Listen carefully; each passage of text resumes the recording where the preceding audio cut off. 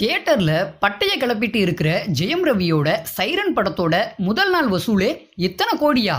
ஜெயம் ரவி நடிப்பில் உருவாகியுள்ள சைரன் படத்தோட முதல் நாள் வசூல் குறித்த தகவல் தற்போது வெளியாகி இருக்கு. அறிமுக இயக்குனர் ஆண்டனி பாக்கியராஜ் இயக்கத்தில் நடிகர் ஜெயம் ரவி முதல் முறையா ஐம்பது வயது மதிக்கத்தக்க நபரா நடிச்சிருக்கிற திரைப்படம் சைரன். இந்த படம் நேற்று உலகம் முழுவதும் தியேட்டரில் வெளியாகுச்சு.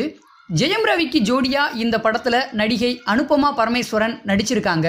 மேலும் நடிகை கீர்த்தி சுரேஷ் போலீஸ் அதிகாரியா மிரட்டலான வேடத்துல நடிச்சிருக்காங்க.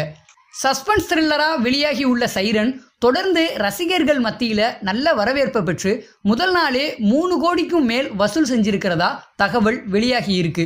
ஜெயம் ரவி கடைசியா இயக்குனர் மணிரத்னம் இயக்கத்துல நடிச்சிருந்த பொன்னியின் செல்வன் திரைப்படம் தான் வெற்றி பெற்றுச்சு. இதைத் தொடர்ந்து அவர் நடித்த அகிலன் இறைவன்னு அடுத்தடுத்த படங்கள் தோல்வியை சந்திச்ச நிலையில தற்போது மீண்டும் சைரன் படத்தோட மூலமா அழுத்தமான கம்பேக்கை கொடுத்திருக்காரு ஜெயம் ரவி.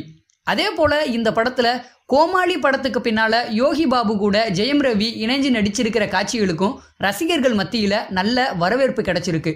பக்காவான ஆக்ஷன் காட்சிகள் சென்டிமெண்ட்டு த்ரில்லிங்னு அனைவரும் ரசிக்கும்படியான ஒரு காம்போ ஷீட்டா வெளியாகி இருக்குன்னு சைரனை பாராட்டி வர்றாங்க ரசிகர்கள். கடந்த வாரம் வெளியான லால் சலாம் லவ்வர் ஆகிய படங்கள் தொடர்ந்து தேட்டர்ல ஓடிக்கிட்டு இருக்கிற நிலையில சைரன் படத்துக்கும் எண்ணூறுக்கும் மேற்பட்ட திரையரங்குகள் கிடைச்சிருக்கு. அதே போல இந்த படம் தொடர்ந்து பாசிட்டிவ் விமர்சனங்களை பெற்று வர்றதுனால அடுத்தடுத்து விடுமுறை நாட்கள் அப்படின்றதுனாலையும் வசூல் அதிகரிக்க கூடும்னு தியேட்டர் உரிமையாளர்கள் நம்பிக்கை தெரிவிச்சிருக்காங்க.